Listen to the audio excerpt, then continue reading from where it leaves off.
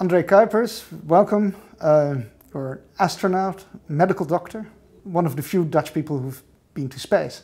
That's correct, yes. Actually, you've been to space twice. Yep. And there are not many people who can say that. Well, there's also people who've been to space seven times, so there's always uh, there's always more. There's always more. uh, that's true. There's a lot of people who flew once, uh, and uh, yeah, I was fortunate to fly twice, and uh, that was also very very nice because the first time you fly, it's overwhelming, and well, when I went back after 11 days, I thought, oh, I have to see more of this, so I want to go back. So the second time, did you enjoy it differently, or enjoy is maybe because it's work, of course. So did you experience it differently? Absolutely. Yeah, the first time, it was very well, not stressful. Was not, yeah, in a sense stressful because you want to do a good job. Uh, you have only a limited amount of time. You know that the, the, the, scientists and the engineers have been working for years, a lot of effort, a lot of money. Uh, so you don't want to make mistakes. And every minute is filled more or less. So you are very busy on board and you hardly have the time to realize that you are in space. Now and then, when you have to sleep a bit, of course, then you are in a quiet module and you look out and then you realize, oh, I'm floating here and I'm not part of that planet anymore in that sense. So I thought, okay, it was so busy that I want to live there. I want to go back. I want to stay longer. And so the second flight was indeed different. I, I could really experience what it is to live in space, what it does to your, to your psyche, to your body, uh, and, and it was my home. I had my own sleeping cabin and more time to repeat things. If experiments fail, you can repair things. You can. So I, I, was really living there. So it was a different experience. I experienced the universe also a bit different, a more galactic feeling, a cosmic feeling. Uh, van, oh, I'm, I'm part of something much bigger, so of a solar system, of a universe. But it takes time. So you, for longer flights, you have more time to really experience that you are in space. And in the first flight, it's just hard work and, and uh, doing your best and, uh, and avoid making mistakes. And the part of going up on a, rocket, that sounds incredible. It must be very stressful, uh, I imagine, especially the first time. And is there stuff that you actually need to do? What do you do in that? Yeah. In the, on that journey. The feeling for a launch, I, I compare a lot with the roller coaster. And uh, people go to a roller coaster, they, they, they want it very much, otherwise they're not waiting in line for you for an hour or more. Uh, so you know it's pretty safe, otherwise the roller coaster is not standing in uh, this, uh, this park. Uh, but still, you're sitting in this carriage, the thing closes, you cannot get out anymore and then it goes up. And that same sensation in your stomach this this uh, pleasant nervousness uh, that sensation you have also in, in uh, during a launch. Uh, you want it very much. I waited for years. I trained for years for that. You know it's pretty safe but you don't know what you're going to feel. And you did all the simulations. You know what it is to be extra heavy in a centrifuge. Uh, you know uh, what it is to, to have the display in front of you and all the, the, the aspects you know, but now everything comes together. And uh, so that sensation, uh, I was not scared, I was very concentrated. The task that you have, of course, in the beginning, for hours in, this, in, a, in a capsule, you test the spacesuit, you test all the systems, and, but everything is green. It's actually a bit boring in a simulator, everything is, goes wrong. And there's an alarm sign, a sound or a red light on. You have to do things. The real launch, it's routine. It's all green. Everything is working. So you can even sleep a bit, you know, if you want. And uh, and then you concentrate on a few things. During launch, uh, you have the first stage, second stage, and uh, I was co-pilot, so you have your, your own tasks, and uh, so you check is the fuel, is that correct? Is the pressure okay? Constantly uh, monitoring. Uh, but then, after 532 seconds, the, the, the third stage stops. And then you have to separate. The spacecraft has to separate from the third stage. If not, then you start to tumble and you come back. And this is a moment that you're concentrated on certain lights have to go on. If not, then uh, you have to, to uh, flop a switch and push two buttons at the same time. So this is what you concentrated on. And during simulations, you tested it all the time. Uh, so that's the task that you have uh, on board. And then, of course, uh, the second flight, you know what's coming. The first time, during the, the first launch, uh, things happen because if the first, uh, second stage is finished, there's a little break, uh, maybe a second or something, and then the third stage ignites, and you really get a kick again. The second flight, you can concentrate better on what's going on. You know more. Oh, this is coming now. Yes, this is coming. And then you feel it better, so you experience it, it better.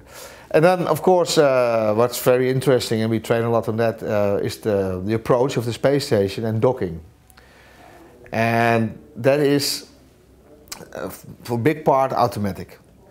But you're constantly trained on things that go wrong. That you have to do it yourself and, and, uh, and take over. And, uh, so this is the task that most of the time it's pretty automatic, a lot of monitoring and now and then you, you really have to push buttons and, uh, and do things. So it's very nice. It's also a bit frustrating in two ways. 80% of what I learned I never used because 80% is problem solving, problems that never happened, luckily, from a short circuit or a failing display to a fire or something. And the second frustration is I learned something that I could only use twice. You know, I, I trained for years and years and years on all the systems. I can fly a Russian spacecraft, and then you can only use it twice. Some people only once, uh, and that's of course uh, frustrating. I would love to to fly to space every two weeks or every week. Will it ever come in handy again? Do you think?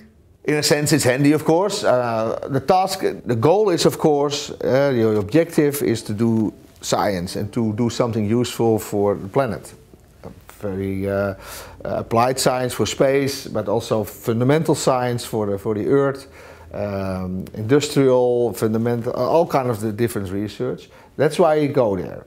You're, you're part of a big adventure of humans to spread out, to, to conquer uh, the, the environment. We did this with the oceans, we did it with mountains and deserts and the poles and the air. Everything is conquered and space is next. But can you get there? Knowledge, uh, maybe very important minerals, energy. That's the reason why we do it. So learning so much for one, for one or two trips is just part of it. So it's not a waste in that sense, because if you need it, you have learned how to deal with the problems. That's why that sense not wasted. And on the other hand, uh, you use it also as after the flight, so between the flights. Astronauts use their experience because there are all kind of, of uh, uh, collateral duties. That's what we, we do, talking with the space station and uh, to, to assist the people uh, in space from the ground, often astronauts who do that. Uh, but then you know, you have to know the system. So you use it then as well in, the, in that sense. new equipment that's being developed, you use what you learned already uh, testing things in, in weightless conditions in parabolic flights. So you use the things that you learned also in other ways. The, the, training, is it very focused, like you say, is it focused at problem solving or at procedures? What is it like, if you can apply it to something else in life, what would you Yeah, well, the, the, the training is uh, three levels. First, you learn about space, the basic training. You have to learn Russian, you have to learn how to fly, how to dive, what is space, how do the agencies work. So the general picture of what, what is space, what we do there. Then you learn the spacecraft. So you have to learn how you get there. So how does the Soyuz work? All the uh, also trouble, the normal work, the, the troubleshooting. Same for the space station. You have to learn how the space station works uh, and the tasks that you have there. Uh, you have three levels uh, users, operators and specialists. And specialists, I was a specialist for the European module. Being a European, I, if something breaks, I have to do the repair. Same for the Japanese module. I operate in the US part and a user in the Russian part. And again, an operator in the Soyuz. So there's different levels. Then you know how the spacecraft works. But then you get a mission, you get assigned. And that's the third level. And then you learn what you're going to do during that mission which experiment, which repair, what spacecraft are you going to dock, what do you have to do with the robotics, so you get a very specified uh, training on the tasks that you have to do. That's not always a guarantee that you're going to do that task, because things slip in space, things often go later, but sometimes earlier. And it happened to uh, me as well. I learned things that I had to control a robotic car from space, uh, walking on, uh, driving on, uh, on, on Earth. Uh, and that was postponed. So my Danish colleague did this later. But on the other hand, something that I had to do was actually meant for the, the, the expedition before us, the docking of the Dragon uh, from SpaceX, the, the first commercial spacecraft. We also trained for it just in case, and indeed, it ended, ended up in our flight. So I, I had to dock the first uh, Dragon to the station. So it's a specific task that you train for. So three levels, and also the, if you, you ask, is this comparable with things on the ground? Well, with, with, a lot of training for a lot of positions, you get the same training if you become a pilot, for example. Uh, but there's also this user, uh, operator and specialist level is also what you have in a plane, for example. The users are the passengers. They know how the belts work, they know where the emergency uh, uh exit is, etc., and where your life vest is. Then you have the level of the operators. That's the crew they know how the thing works in normal conditions. And then you have the specialist level, and that's the mechanics on the ground. Because if there's something wrong and something has to be repaired, that's the same in space. Seeing, of course, Earth from above, people are, have, have, talked about that, you've talked about that, the, the impact it has. This whole experience, including your training, including what you had to do on your mission, has it given you a perspective on life uh, here on Earth and on, especially on the technology side of things that yeah. is changing yeah. very rapidly today? Yeah. Yeah, the interesting thing of space and the International Space Station is that it's a beautiful platform uh, uh, where you can show um, how uh, interesting and, and, fun science and technology is. The space station, it, it's a very difficult environment, first of all. Uh, vacuum, of course, you have uh, big temperature differences, uh, you have vibration, acceleration forces, higher radiation levels, and you cannot just go there for maintenance or repair, so you have to be smart. Uh, that's why new technologies, new materials are needed to, to have a satellite or a spacecraft working. So that's an important thing. Uh, so you're always at the forefront because you are dealing with a very, very hostile environment in that sense.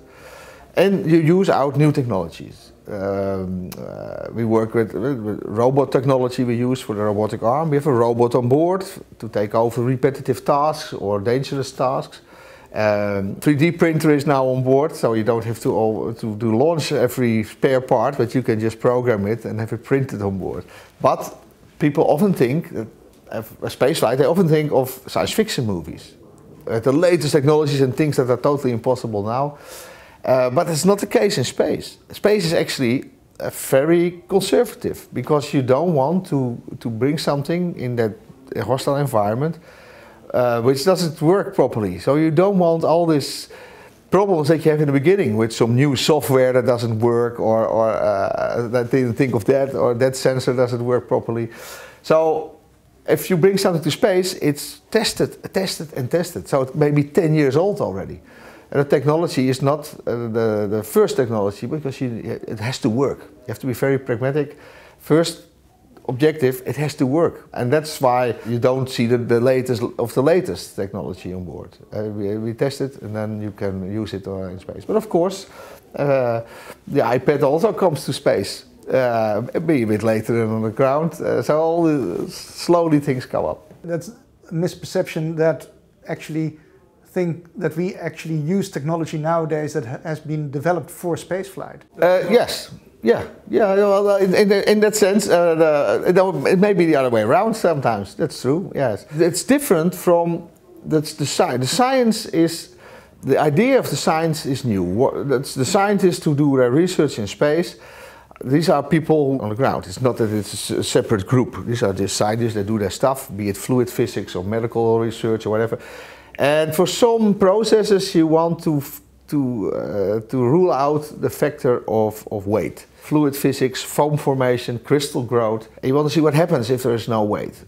Uh, so very basic, uh, fundamental uh, parameter. On Earth you can switch off the light, sound, temperatures, pressure, you can change a lot, but gravity you cannot switch off. That's why you do it. So the ideas are very, uh, very new, very, very uh, new ideas. But before the experiment flies, you it's 10 years later because you have to develop the equipment and test it, train astronauts, etc., etc. So it's very novel science, but before it's really, uh, really performed, you're, you're, you're pretty far out already. Um, so in, in, in, that sense, it's, it's new and old uh, together. The science can be very new, but the technology is, well, tested. The Soyuz, for example, is a very old spacecraft and it's from the 60s. But the Russians say, look, it works, why should you change it? Which is good. So they improved it. So you updated it, new software, uh, glass display, etc. But the old systems are still in there, which is also nice. So if you lose the digital system, you still have an analog system. If you lose that, you still have some basic functions. And that makes it very reliable. We always come back with the Soyuz. The shape is inherently safe, that the basic systems are, are working. Uh, and that makes it nice. So new technology is fine, but always have a, a, a possibility to fall back on what you know that works. Well, that leads me actually to my next question. I mean, as somebody who's worked with all that and who knows it intimately, um, and as an astronaut, you, you at the forefront of science, etc. Do you think that we will find solutions for our planet through technology and science? I believe that technology is a solution for a lot of problems. Um, from space, you see a beautiful planet, but you also see how limited it is. You're around it in one and a half hours. You see the fragility, the very thin layer of atmosphere you see. You see uh, deforestation, you see erosion because of the deforestation, you see air pollution. At night you see amounts of uh, fishing ships. Uh, so visualization of overfishing. Uh, at night it's beautiful to fly over the earth. It's, it's like black velvet with golden embroidery. It's beautiful. But on the other hand, you realize that there are a lot of people on this planet. We grow every day with 200,000 people every day, 200,000, city every day. And then you think, okay, the planet is not getting bigger. We have to find new ideas for energy, for water, etc. And then without losing nature around us and things like that. And I believe very much in new technologies, uh, technologies to do things better and much more in balance with, uh, with the environment. So the earth gets time to recover. At the moment, humans are a plague. We, uh, we, we're killing all the forests, we, we are emptying the oceans, and next generations will have a problem with that. So with new technologies, I think we can do a lot. Food technology, because technology is everywhere.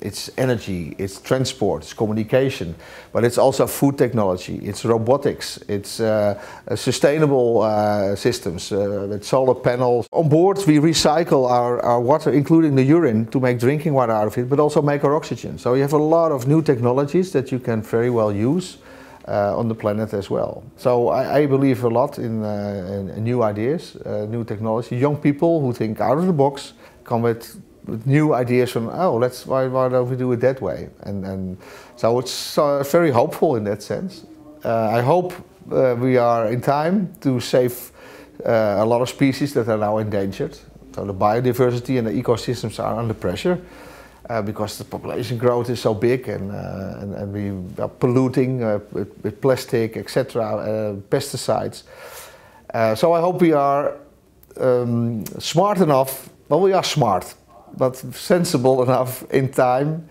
to prevent that, uh, that we ruin this planet for the next generations. Of course, there is a lot of innovation going on at the moment. I think the pace of innovation is, is incredibly rapid and there is a lot of disruption going yeah. on that is associated with that. Besides all the environmental impact that, that, that you mentioned, how do you think that this will all affect uh, the, the business landscape? How should uh, companies react to these kind of changes? Yeah, I think that's a very important one, especially for the business itself. I mean, um, technology and, and, new ideas, they find their way. There's always great startups. Nine out of ten don't make it, but this one who makes it, then we get further and we get beautiful things out of that. New development starts and then it levels off and then it dies because something else takes over. It's a smart startup, nobody thinks about it, and up, all of a sudden, basic examples are uh, digital photography. Kodak, who would say that Kodak or Nokia? You know, that's it, you know, the, the big players. But then something else comes that takes it over from a totally different corner. And then, uh, yeah, that's, it's, it, I think it's a natural process. And uh, if you have smart people uh, in your company, uh, you should put a lot of effort in research and development, then you can be the company yourself that, that comes up with a new idea. And otherwise, somebody else does it, and that's the end. But it's not alarming, except for the people who work there, of course. I think that's a normal process. Things, there will be things coming up um, that we don't even think of at this moment. Things that are not even in science fiction, because uh, laser light. A laser light. Nice, you know, light of one wavelength. Oh, fun, but what do you want with it? Nowadays, you, you play your DVDs or whatever. It's also old-fashioned by the meantime. You measure the distance to the moon. You do eye surgery with it. So you know you never know what comes out of uh, of basic basic uh, research. So beautiful things will happen. We get more and more control over energy, over matter, and uh, of course we have to be careful. Like with any technology, you can use it in a good way and a bad way. You know, with a stone you can you can build a house and you can throw uh, uh, you can throw it at somebody. And that's with all technology. So technology in itself is neutral. It depends on how it's used. So that's just a social aspect of uh, of technology. But uh, I, look, I always look forward to to uh, the uh, symposia, congresses with young people with bright ideas, and it's, it's beautiful. I think in, um, in one of your presentations you mentioned the phrase everyone an astronaut, a question of mindset, leadership and innovation you talk about. What does it mean everyone an astronaut in, in terms of this, this new environment of innovation? The term astronaut is something, uh, somebody to explore strange worlds in dangerous environments and that's, that's what, you, what you do if you come with, uh, with new ideas as well. You explore a new territory with, with dangerous, it could be that you invest a lot in something and it, uh, it, doesn't work or or the idea that you have most of the science doesn't work. I mean i did scientific research and for weeks i was trying to get dna into a cell for example uh, and uh, the conclusion was well the other way was better you know? That's also science. 90% it, it doesn't bring uh, i mean doesn't bring a big result but it's because of everybody doing that that, then, uh, then it, it, works. And uh, on the other hand, we're also all astronauts on a big spaceship. Uh, Earth is, you can consider Earth as a big spaceship with limited resources. And so we are crew members, we are astronauts on a on spaceship Earth. Uh, so that's also uh, something you can, uh, uh, how you can see it. You're advocating that like organizations should listen to a lot of young people, new ideas, etc. Uh, but at the same time, you also um, see the risk of uh, some of the things that, that we are doing in general in this world. How should organizations deal with that? How can they balance these things? Yeah, one thing I learned that um, uh, if you're an astronaut, you're not a manager. You're not, uh, you know, it's, it's different jobs. Uh, it's not me who have to say how you lead the company. I probably do a very bad job because it's, it's managing is something totally different than being a medical doctor where I was originally, or astronaut, or journalist, or it's it's all different jobs, and you have to do uh, the thing that you like because most of the time you're good in that.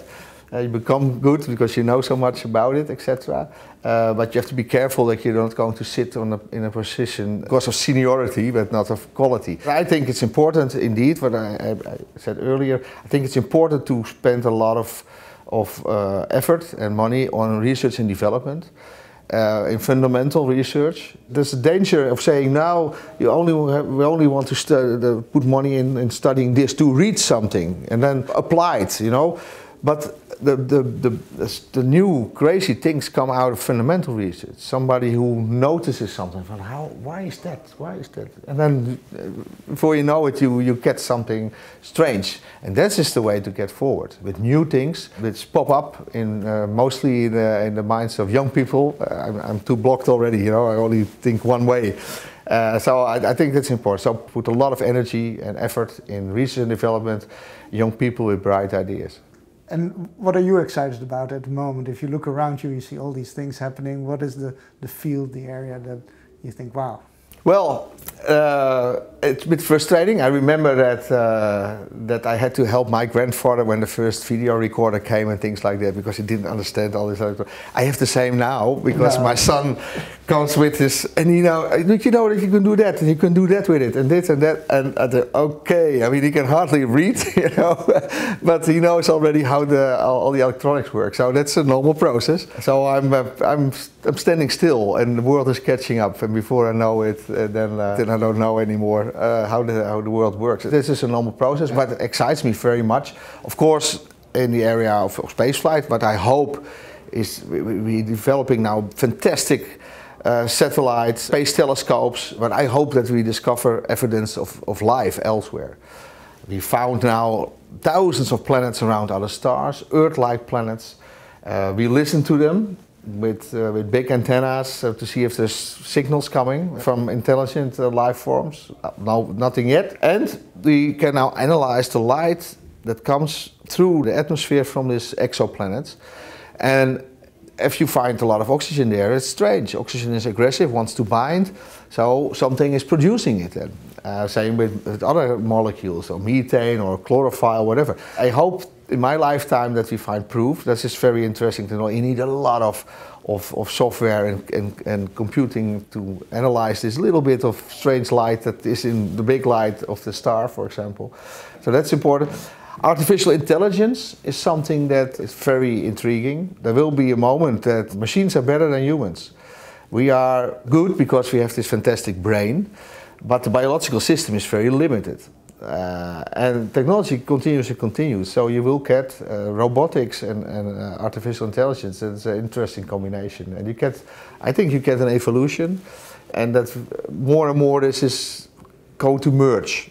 So the biology system together with, uh, with, uh, with the technology, with uh, artificial intelligence, etc. And then we get into the region of the science fiction. But there's no end to technology.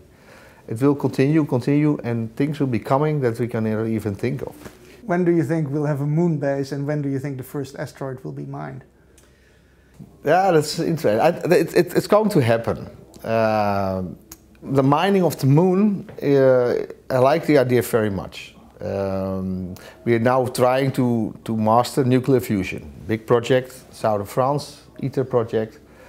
Uh, maybe it maybe never happens. It's difficult to, to mimic the sun, but uh, who knows? It's cleaner than nuclear uh, fusion, but there's still some waste. You can do it totally clean if you use helium-3 in the process. Now, helium-3 comes from the sun, but because of our atmosphere, you don't really have it on Earth. Because of the solar wind, it's on the surface of the moon, and we have been calculations that you have for a thousand years of energy for the whole planet Earth in the form of helium-3 on the moon. First, we have to get fusion under control. That's something. But then we could maybe use it for that. Maybe it stays in the region of science fiction, that it's overtaken by another technology. That, that's possible. But it's a serious uh, uh, interest. Same for mining of asteroids. Uh, at the moment, in all our devices, we need these rare earth metals. Yttrium, iridium, platinum, whatever. It's difficult to find these, very rare on, the, on the planet. So you get polluting and difficult mining in Africa or maybe Greenland later or whatever. China has a lot of monopoly there. And we don't do much recycling of this mobile, so we lose these, these, uh, these metals. On the other hand, asteroids, planetoids, are full of rare earth metals. We know this, for example, with the, the, the big asteroid that killed the dinosaurs 65 million years ago. We found the place because there was a thin layer of uh, iridium getting thicker, thicker, thicker towards the Gulf of Mexico there. So, so this interesting metal. So that would be very interesting to go to an asteroid uh, for two reasons. A very important one is how can you deflect it? Because if these things hit the Earth, it can be the end of, uh, of humankind. So it would be interesting to see if you can deflect them. And the second is, well, maybe you can deflect it so that it comes in orbit around the moon and then you can start mining, for example. It will take some time. You ask me when? I don't know. Same question, when are people on Mars? I always say in 25 years from now, people will walk on Mars. But I said that 25 years ago already. How about yourself? So this is, this is go fast. How about yourself? Any, any more trips I would love to go to the moon. I would love to go to Mars. I would love to go back to the space station. Uh, there's always something to wish for. You know, when people couldn't fly, they want to fly, and then you want more and more and more. If you go over one orbit, then you want to go longer. There's always something to wish for. That's good. People have to keep on dreaming. There's always should be always something to to reach for. Uh, in theory, I could still fly. In theory, I'm still uh, ESA, uh, for, still uh, from the European Space Agency. So uh, they could call me now and say, "Look, we have a flight available. Uh, do you want to go to the moon?" Great, but it's going slow, slow. So many years ago, there were really serious, better than now, of still of the same plans to go back to the moon. But then the whole program stopped again, etc. But so, uh, yeah, I would love to go back and uh, I would love to go to Mars and back. Not one way, because the Earth is still the best planet, and, and technically you can go back as well. So uh, It's a lot of time and effort and money, uh, but it will happen one day. And, and even beyond, you can think beyond. And we can, in the future, maybe go to other planets, uh, exoplanets. We need new technology because present speeds it takes 80,000 years to get to the next star. Of course, you can think of freezing people, generation uh, spaceships, or only sending uh, the brain as a, as a file uh, and your DNA or something like that. There's always beautiful ideas. Uh, and you know, what will happen in 1,000 years, 100,000 years, uh, 10 million years? You never know. There's, uh, there's so much to come. And, um, and I would love to, to look into the future. Um, but still, there's very interesting things coming now, and I look forward to that. Well, I'll keep my fingers crossed for that the call from ESA will come yeah. again for you. Would be Thank nice. you very much. Thank you. Great. It's Thanks. a pleasure.